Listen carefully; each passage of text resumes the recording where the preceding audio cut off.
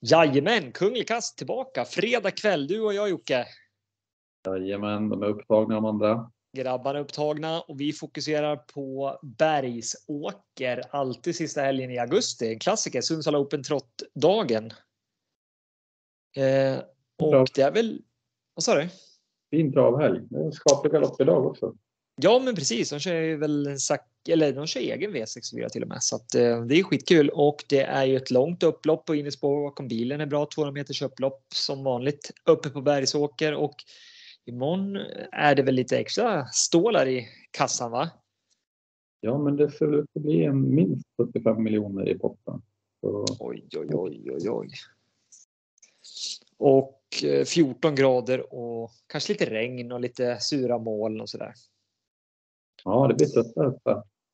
Ja, så är det. Nya tag. Förra veckan hade jag urusla tips. Eh, jag gillar spetshästar och eh, spetshästarna gick som sänken så att då var man riktigt snett på det. Så nu är jag taggad för en ny omgång faktiskt. Eh, vi kör väl igång. 1640 autostart inleder och det är silverdivisionen och här har vi en favorit som heter Comes with age. Från Mantorp kommer hästen.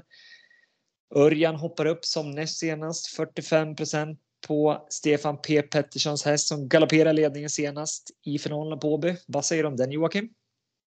Eh, ja, men tidigare vecka så var jag inne på att det här var en kung, men ju mer jag tittar så inser jag att det kommer gå riktigt fort i början med 2, 3, 4 och 6 som kommer ladda. Ja, men riktigt, riktigt mycket tänker jag. Så här kan det hända grejer. Och, eh, jag vill varna för nummer 11, Kronos Daily Day, som jag tycker var riktigt eh, men ändå riktigt bra några starter och eh, går det fort så kommer han in i matchen. Alessandro Gocciadoros hästar som är väldigt enkla att räkna på. Nej, inte riktigt. Man vet exakt vart man har dem.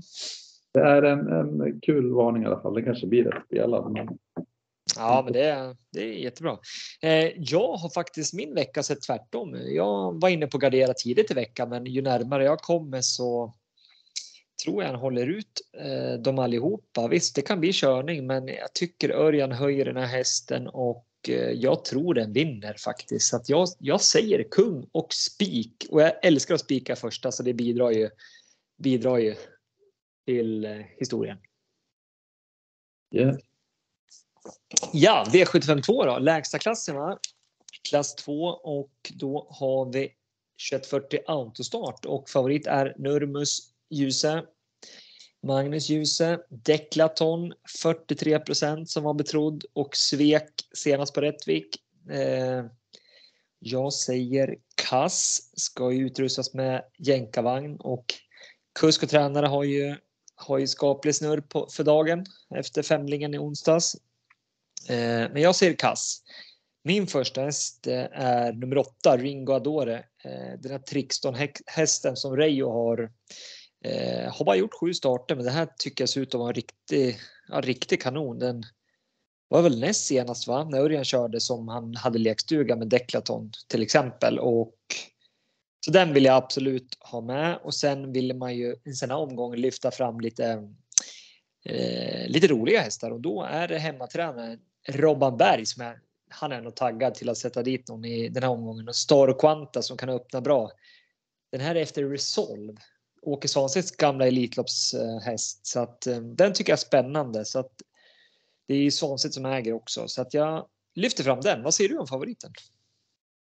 Eh, nej, men jag säger kast. Eh, här var också inne på spika tidigare i veckan, men eh, åttan är bra. Jag tror att eh, Feg upp kör framåt för en gångs skull. Mm. Eh, ska man ha någon riktig rysare så tycker jag att det är nummer 10 Spader med Erik som ändå börjar komma lite i form och den höll riktigt bra mot Esposito näst senast. Ja. Det är lite intressant om man garderar. Spade lyfter vi upp, jajamän. Kass favorit blev det i alla fall. Är han superkass eller är han bara lite halvkass? Ja, men den ska definitivt med på lappen. Den ska med på lappen. Härligt. För tydlighetens skull. Eh, V753 då. Här har vi ju ett SM för tjockisar. Eh, Kallblodsdivisionen 2640 autostart. Och eh, Jan-Olof Persson sex hästar. Eh, och han har favoriten också, Beckles Uriel 36% Vad säger vi om den? Mats Djuse kör som vanligt. En spik? Eh, nej, men jag säger kast här på grund av distansen. Eh, det är mycket som talar för spets och att det kanske inte går jättefort. Men kommer Månlycke ut så tror jag att de kanske trycker på lite. Och då tror jag kan öppna upp för nummer fem, Järvsö Odin, som jag tror sitter i rygg på ledaren. Ja. Jag tror inte man behöver sträcka många hästar här utan det, det är nog kanske fyra, fem, eventuellt ett om man tror att den kan vinna från döden. Ja. Eh, Järvsö som har haft ett bra år, eller man säga. Tioåringen har ja, tagit några steg tycker jag. Mm. Yes, jag säger också kass. Eh, den är ju ingen superkass eh, favorit. Eh, värt att säga. Är man en kung, då är det en spikförslag på en favorit. Så att, därför säger jag kass. Jag lyfter fram BV Sture som jag tycker har varit riktigt bra några gånger. Distansen kanske sådär, men barfota runt om och Örjan upp igen. Kom ihåg när han vann på V75 här i i somras när han bara swishade till ledningen och bara flög iväg. Eh, lyfter också fram en häst som jag gillar, Pydin som också har haft ett eh, ja, han har gått jämnt och bra här ganska länge, men ja, kanske Pettersson kan trycka till den här nu så att eh, jag ser kass på favoriten i alla fall. Hoppar vidare till avdelning 4. Här har vi ett klassiskt diamantsto. Eh, Lars Lindbergs minne. Ett lärlingslopp. Eh, 2140 volt start för en struken häst. Så det är tyvärr bara 13 hästar kvar i det här loppet. Favorit är från 20 meters tillägg. I Matra AM. William Ekberg hoppar upp nu för Jörgen Westholm 38% Jag vill inte spika henne så därför säger jag kass. Eh, det är ju just de här förutsättningarna, stå på tillägg, ut i spåren, sugna lärlingar. Det kan bli krångel nog för att hon är överlägset bästa hästen. Men därför lyfter jag fram nummer ett, Young Mistress. Eh, ingen stor skräll, men ja, jag har alltid gillat den här hästen och Niklas Hammarström kör med insidan så att den ska definitivt med tycker jag. Och sen en lite låg 6 där Donna Summer som är tycker vi generellt David Perssons hästar har väl gått har inte de gått ganska bra sista månaderna? Du, jag vet du missade någon onsdag när de spurtade några hästar och Vulkan och Hobart som kommer senare. Ja, nej, men jag tycker och när den här hästen visade mycket för, redan förra året, men som sagt, alla hans hästar har varit down här fram till i somras så att intrycket senast var ju kanonfint tyckte jag. Någon avväpnad och lätt på Mantorp så att Donna Summer till 6% säger jag. Vad säger du om Imatra AM? Tror hon bara rundar dem eller? Ja, jag kör en. Du tror det? Ja, jag kör en kung på den här. Nej, men hon är stabil i volten och skulle det bli lite omstarter så blir hon gynnad av det skulle jag säga. Och, eh, nej, det här, det här löser William Ekberg tror jag. Att han kör fram i döden rätt så omgående och då är det tack och hej för de andra. Det är klassskillnad. Tack och hej! Ja. Ja, nej, men det är som sagt det är bara 13 hästar så att den kommer ju att vara kapp så att det, det är ungefär som ett vanligt lopp. Eh, så att ja, det behöver inte vara fel. 38% på en 4 miljoners häst. Ja. Hoppa vidare då. Femte avdelningen 2640 autostart bronsdivisionen och det här tycker jag är ett jäkligt svårt lopp faktiskt. Dragonspar 34 eh, Alessandro Gocciadoro du får faktiskt börja här och få se om du ser klarare än vad jag ser i det här loppet. Eh, jag börjar med att säga att en kassfavorit i alla fall. Jag håller med dig om att det är ett öppet lopp. Eh, jag tror kanske att ettan Maybach VF har ledningen och han lär väl inte släppa till någon i det här gänget. Eh, Nej.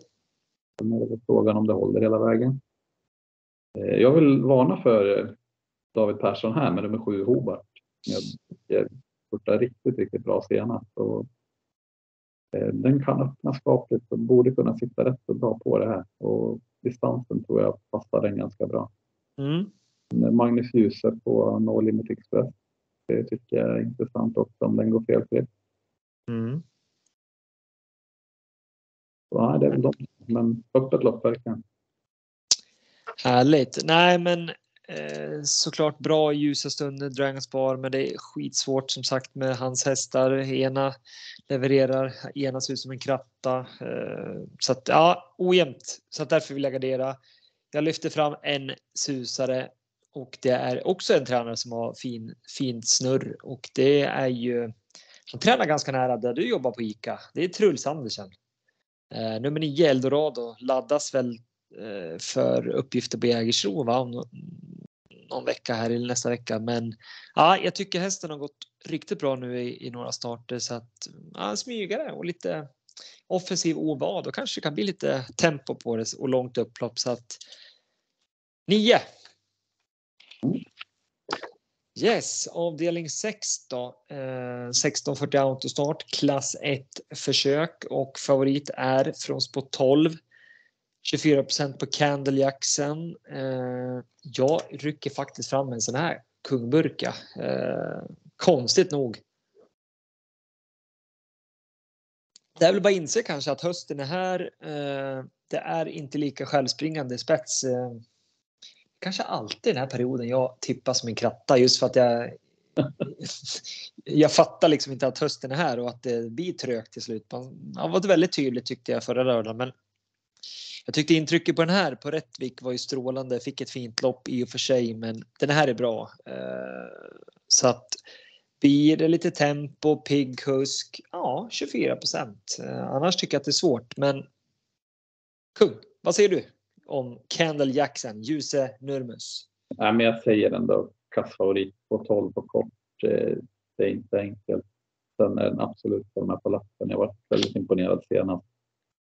Eh, mm. Jag vill varna för nummer nio, Danao Degliday, som eh, han fick en lite tuff period med tre lopp på en dag, men har han återhämtat efter det så tror jag att han är den bästa hästen här över den här distansen. Eh, och sen vill jag även ha med nummer fem, Bengt Striocha, som jag tror tar ledningen. Mika Fors. Ja. Du gillar bålgetingar den omgången alltså? Ja, inte som spik, men jag tycker han har en del hästar som mm.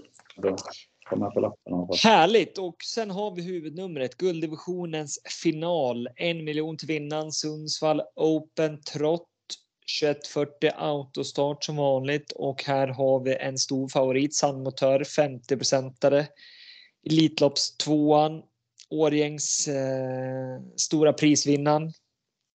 Jubileumspokalvinnaren förra året. Eh, Åbys stora pris. Nej. Var han vann? Olympiatravet. Olympiatravet, precis. Ja, du får säga. Vad säger vi? Är det en spik och dundra in eller inte? Nej, det här är en kund.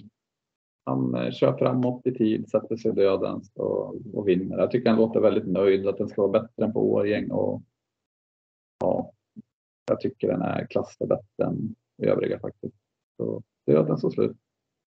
Dödens slut. Eh, ja, men precis. Eh, jag är lite osäker. Det är ju bara tre hästar som kan vinna här. Det är Hail Mary, Borups Victory och San Motör tror jag. Eh, 50 procent. Den kommer ju få döden sista varvet på Hail Mary tror jag och kan mycket väl göra som han gjorde i jubileumspokalen förra året att han tog ner, eh, krossade Mr Hercules på en nio tid full väg.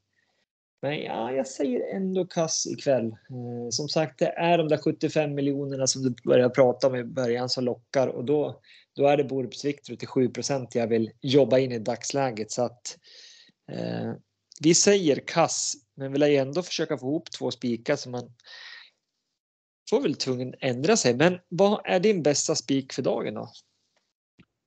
Eh, nej, men det är ju samma tag. Det är ju det är inte kul att ha spik i sista och den blir lite spelad men jag tycker ändå att det är andra hästar som drar mer sträck än vad de kanske borde det här loppet. Så. Ja, man ska inte vara rädd att spika om man, om man vinner. Det, så är det bara. Spikarna ska sitta och de är skitsvåra tycker jag. Så att, mm. eh, och jag säger comes with age så att vi får se eh, om vi ramar in eller om vi kan hitta några roligare grej på det hela. Men vi säger väl så. Och så önskar ja. vi en trevlig kväll och så Glöm inte att se dagens dubbel från Bergsåker idag, hur det ser ut. Tack och hej! Hej!